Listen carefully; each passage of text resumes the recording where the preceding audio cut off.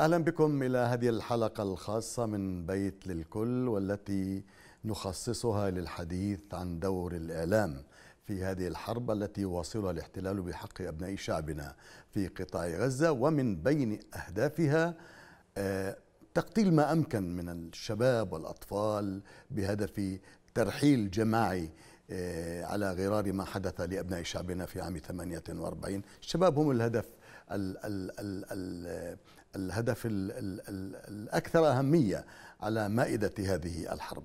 ضيفي للحديث في هذا الموضوع دكتور محمد أبو الرب أستاذ الإعلام الرقمي في جامعة بيرزيت. أهلا بك دكتور. أهلا فيك. حياتي. هناك معركة ضروس تجري على على الأرض بموازاتها حرب مجرمة ظالمة طاحنة بحق أبناء شعبنا في قطاع غزة وفي سائر أنحاء بلادنا فلسطين. لكن هناك أيضا حرب إعلامية أعتقد أنها لا تقل أهمية وخطورة.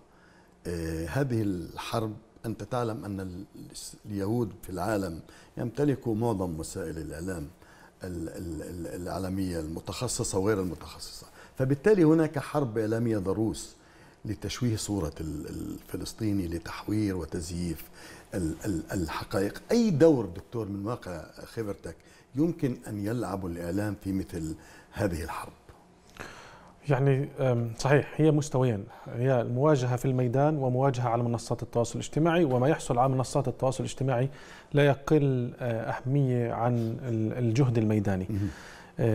لأنه الاحتلال وإسرائيل حول العالم وحلفاؤها أه، سعوا منذ اللحظة الأولى لصناعة أسطرة العدو الفلسطيني الذي حاولوا ربطه بجماعات متشددة وحاولوا ربطه بإنسان آه، قطاع للرؤوس ويحرق البشر وهم أحياء. هذه الأسطورة يعني والدعاية بالساعات الأولى انتشرت بشكل كبير. المطلوب كان في حينها وهذا ما حصل فيما بعد هو محاولة البحث عن تفنيد لهذا الادعاء الإسرائيلي.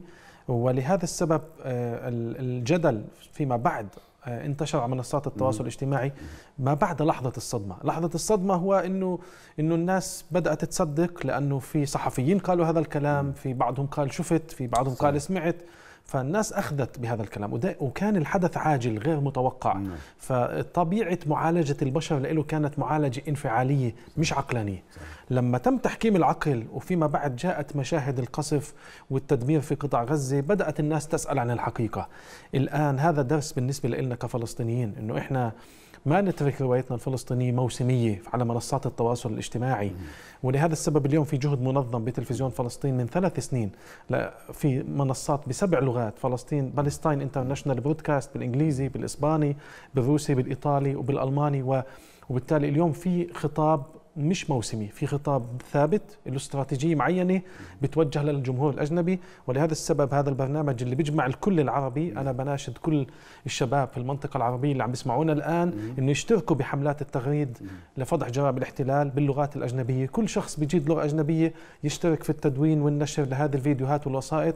ما نضل نخاطب نفسنا باللغة العربية لأنه لما الاحتلال الإسرائيلي ودولة الاحتلال تدعي أن هنالك ألف شاب عفوا مليون شاب يمثلون وكأنهم سفراء لدولة الاحتلال حول العالم يقصدون طلاب الجامعات والطلاب الثانوية العامة. هؤلاء الذين يكتبون ويدونون بلغات بلدانهم الأم التي جاءوا منها. وهذا يعني أنه أبناء شعبنا الذين يجدون وأبناء الشعوب أصدقائنا وإخواننا في الدول العربية دول شمال أفريقيا الذين يجدون الفرنسية طيب. مطلوب من كل شاب عربي أن يساهم بنشر الحقيقة الفلسطينية. وانت بتحكي عن الشباب دكتور خطر في بالي الآن أنه كمان الشباب هدف لهذا الإعلام المضلل الإعلام المحترف إيه الذي قبل هذه الحرب كان يدفع الشباب باتجاه الهجرة نعم. خاصة من قطاع غزة ومن فلسطين بشكل عام هم بدهم مش حدا أصلا يعني نعم. واحد من أهداف هذا الوضع بدهم يجوا كل الناس اليوم لكن كيف يمكن تحصين الشباب من هذا الخطاب الخطاب السحري بصراحة يعني شوف خلينا نحكي إسرائيل استغلت ما بعد الربيع العربي أو ما يسمى بالربيع العربي لتسوق نفسها بأن هي الدولة النموذجية وهي الناجية في الشرق الأوسط من نعم. كل هذا بين قوسين الخراب العربي. اللي حصل إنه إسرائيل من خلال منصاتها على ال social media إسرائيل تتكلم بالعربية وإسرائيل بالخليج نعم. وبكل لغات العالم تقدم نفسها بانها هي الموديل البارادايم هذا النموذج المثالي اللي اللي هو النقطة المضيئة في وقت في في وسط هذا الخراب، هذا هو الادعاء الإسرائيلي للأسف. صحيح. كثير من الشباب العربي اللي ما عايش أوقات سابقة وعم بيشوف وضع وضع بلدانه فهو آه، بعض الشباب يعني خلينا نحكي استمالته هذه اللغة وهذه الفيديوهات صحيح. اللي بتبين التقدم التمدن الحضارة بين قوسين الادعاء بالديمقراطية طبعا. لكن عند أول مواجهة مع الفلسطينيين ومع أبناء شعبنا في غزة وحتى في الضفة القتل اليومي اللي عم بيصير في الضفة وعلى الحواجز. هذا كمان خلى آه، التعاطف العربي صحة صحة كثير شباب عرب وفلسطينيين. آه، كانوا عندهم هذا ال stereotype stereotyping هذا الإسرائيلي الصور النمطية الغزو اللي تم على ال social media خلال الفترة الماضية. نعم. آه، أنا باعتقادي إنه هذا هذا التضليل يأتي أحيانا من نقص المعلومات. لأنه اليوم الشباب في مجملهم يعني وأنا بلاحظ على طلبة الجامعات سنة عن سنة عم بكل المستوى الثقافي لأنه الناس مش عم بتطالع. الشباب اليوم مش عم بيطالعوا كتب. يعني عنده استعداد يقضي ساعات طويلة بمعزل عن وقت المواجهة اليوم والعدوان. بس في الوحله بالحاله الطبيعيه الناس عندها آه، آه، يعني استعداد تقضي ساعات على التيك توك وعلى الفيسبوك. بس إذا قلت له طب شوف هذا الكتاب ممكن يثقفك يزيد من لغتك من قاموسك اللغوي. آه، بتلاقي إنه الشغف عم بقل وهذا مش بس فلسطينيا وعربيا للأسف هذا كمان طيب. كمان هذا موجة عالمية. صحيح. اليوم أنا بشوف مدونين من العراق مثلا على نعم. وسائل التواصل. آه، بشوف مدونين من الأردن من مصر آه، من باكستان من اليمن من كل أرجاء من معظم أرجاء الوطن العربي. يبلوا حسنا يقوموا بدور خلاق.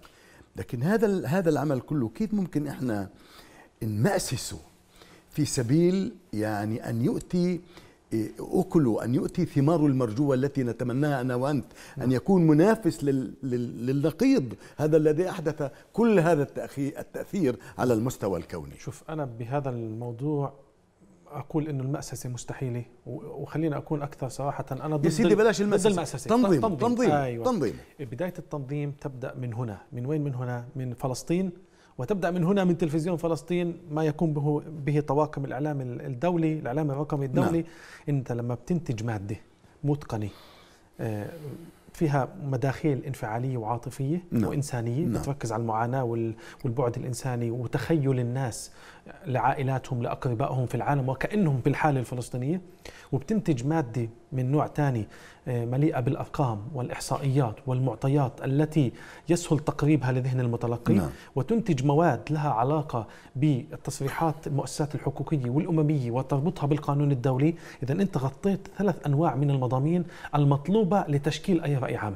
حينما المطلوب منا فلسطينيا في تلفزيون فلسطين وفي الإعلام المحلي وحتى في الإعلام العربي الشريك لهذا البرنامج اللي عم بيتابعنا الآن هو انتاج مضامين تدعم القضية الفلسطينية مش تدعمه بالشعارات فقط عفوا على الكلمة يعني. آه، لأنه كثير مثلا محتوى هادف محتوى ذات تأثير. المحتوى ذات التأثير القائم على ثلاث عناصر يا إما محتوى في قصص إنسانية وقصص معاناة يا إما محتوى يعتمد على الأرقام والإحصائيات والأدلة والحقائق يا إما محتوى يعتمد على اللغة اللي لها علاقة بمؤسسات حقوق الإنسان واللغة الديمقراطية وحقوق الإنسان والحريات اللي بتهم كثير من أبناء آه، أو مواطني دول العالم اللي اللي بت يعني تركيزهم بيكون بهذا الجانب.